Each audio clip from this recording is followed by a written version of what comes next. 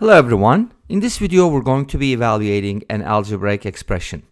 We have x over x squared plus 1 equals 1 over 5 and we're going to evaluate x squared divided by x to the fourth plus 1. And I'll be presenting three methods even though one of the methods will be incomplete. Guess which one? Alright, let's start with the first one. For my first method, I'm going to go ahead and cross multiply the first expression and that's going to give me x squared plus 1 equals 5x. And now at this point we can go ahead and isolate x squared and write it as 5x minus 1 and then the next step would be squaring both sides. Let's go ahead and square both sides and the reason behind that is to get x to the fourth power. Now this gives us 25x squared minus 10x plus 1. Now notice that x squared can always be replaced with 5x minus 1. So let's go ahead and rewrite this expression. x to the fourth equals 25. And now we're going to now replace x squared with 5x minus 1. And then square it minus 10x plus 1.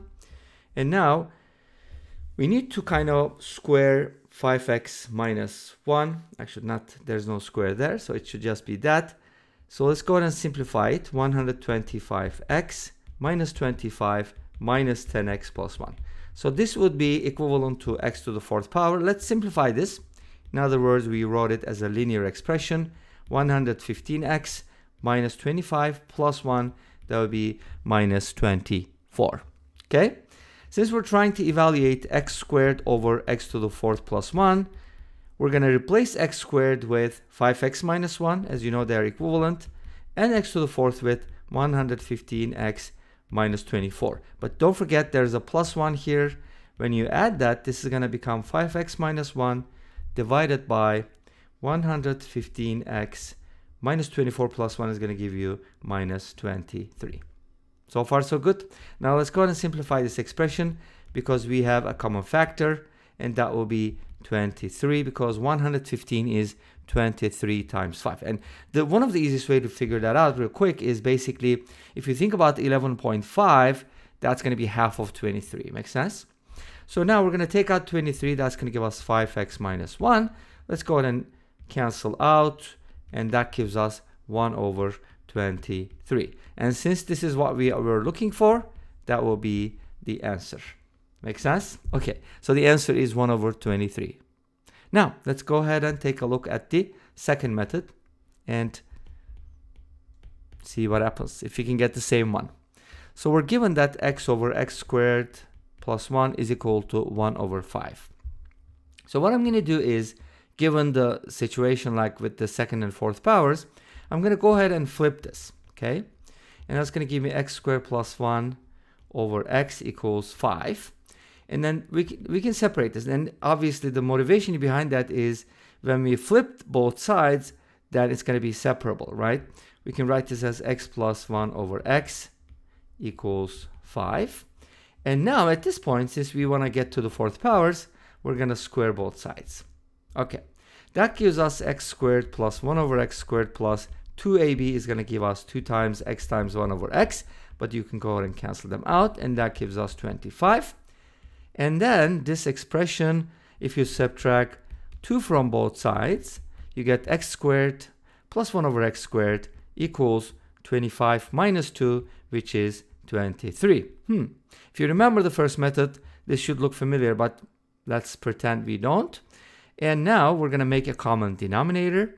That's going to give us x to the fourth plus 1 over x squared equals 23. And remember what the problem was asking for? X to the x squared divided by x to the fourth plus 1. Exactly the reciprocal of this expression, x squared over x to the fourth plus 1 is just going to be the reciprocal of 23, which is 1 over 23. And remember, that was the same answer that we got with the first method, and hopefully you're going to let me know which method you like the best. And the second best, and the third best, okay? All right, great. So far, we got two methods. Let's go ahead and do the third one. Remember, I told you I was going to present three methods, and I'm pretty sure you're going to find the fourth one, right? Great. So let's pick it up from where we did the cross multiplication. Remember, we had the x over x squared plus 1 equals 1 over 5 and then we did cross multiplication like this and like that and that's what we got right obviously the third method is not going to use anything we used with the first and second so what are we going to do we're going to go ahead and put everything on the same side and then solve for x right obviously and I, I just thought of uh, another way to approach this too. Maybe you can call this 3a or 3b. Uh, 2b would be better, but anyways. Uh, we can also go ahead and do this. We can kind of like, let me see. We can kind of write this as x squared equals 5x minus 1 and then divide everything by x. And that should give you something like this. Yeah, I guess I, I meant to bring the 1 over here.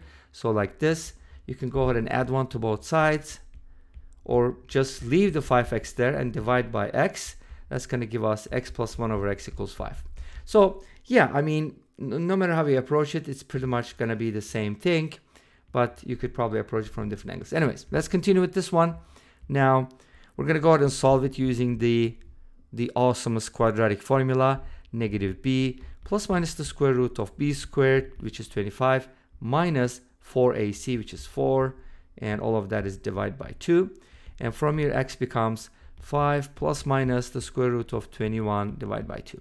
So 21 doesn't contain any perfect squares, so we're going to leave it like this. And now is the time for the fun part, substitution, yay. So this is x, and we do need to find what x squared divided by x to the fourth plus 1 is, right?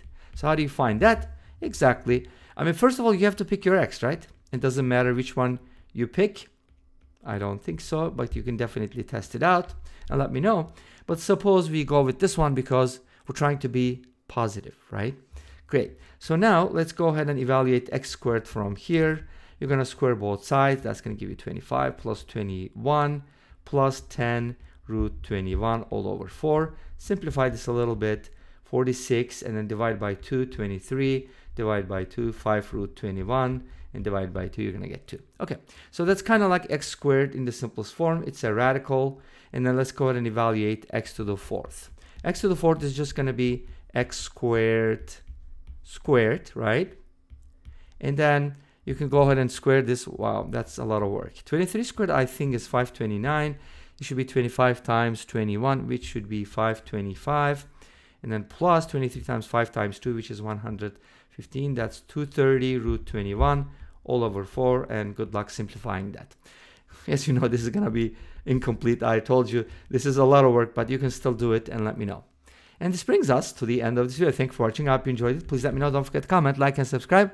I'll see you next time with another video. Until then be safe take care and bye bye